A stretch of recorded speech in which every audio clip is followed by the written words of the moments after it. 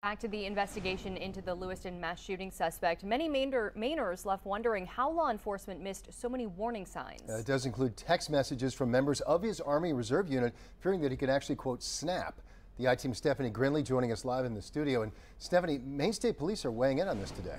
Indeed, they are. Greg and Marissa, in an interview with our radio partners at WGAN this morning, the head of the Maine State Police, Colonel William Ross, says a combination of factors led to the alleged shooter falling through the cracks, including a lack of information from out of state when he was institutionalized, and the responsibility of finding him passed between different agencies, but was never followed through on.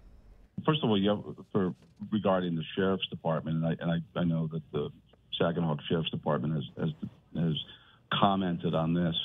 Um, you have to find the individual. And unfortunately, a lot of the information that would be coming from out of state, from either the military, and keep in mind, I think this person did a two-week stint in a psychiatric facility in, in facility in New York. Uh, none of that applies. It, it's kind of a restart when it comes to the state with respect to the, the weapons restriction law, the yellow flag law, and and I think that's a problem too. And um, there should have been opportunities here to collect all of this information and be able to move forward with it. He says there's a lot of public policy decisions that need to be evaluated, that when a person comes into Maine, connections are put together. Just two days ago, the I-team sat down with the Sagadahoc County Sheriff, whose department, you could say, inherited Card's case when he returned to Maine. Tonight, we are hearing what Colonel Ross thinks.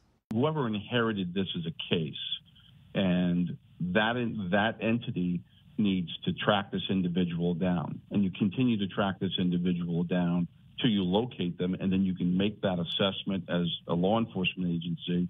And if you can make that determination that they need to be brought in for an evaluation, and you start following the steps of that of, of that yellow flag law, and I think that's where things were dropped.